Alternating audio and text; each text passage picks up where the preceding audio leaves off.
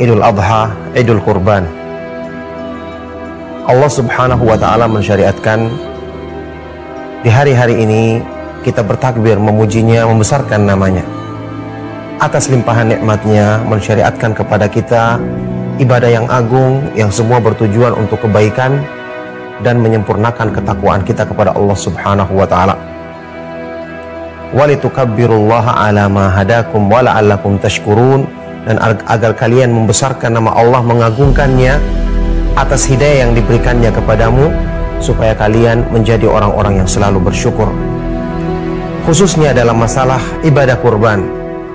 Allah subhanahu wa ta'ala mensyariatkan ibadah yang agung ini sebagai ibadah yang di beberapa ayat Al-Quran digandengkan dengan salat ibadah terbesar dalam Islam.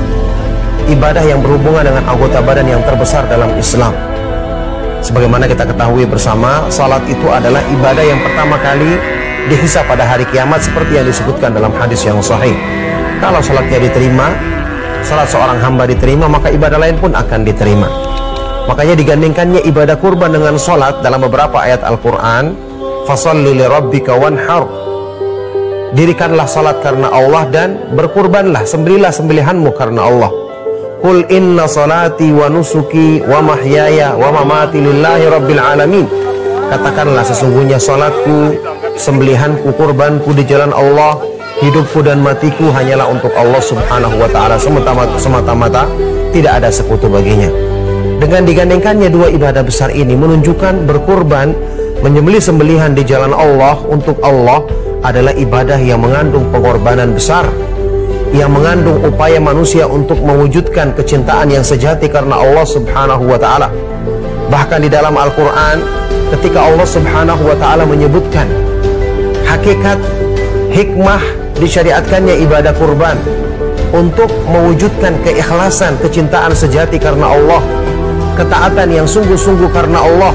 Allah Subhanahu wa taala berfirman, la yanalallaha luhumuha wala dima'uha walaki yanaluhu taqwa minkum.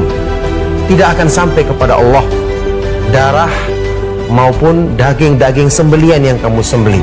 Tidak akan sampai kepada Allah karena Allah tidak butuh makanan tidak butuh pemberian dari manusia. Tapi yang akan sampai kepada Allah adalah ketakwaan dari hatimu. Ketakwaan dari hatimu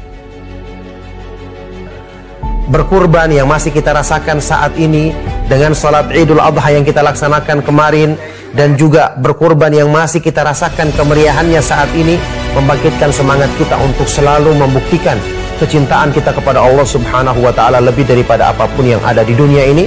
Inilah hikmah terbesar yang kita ambil.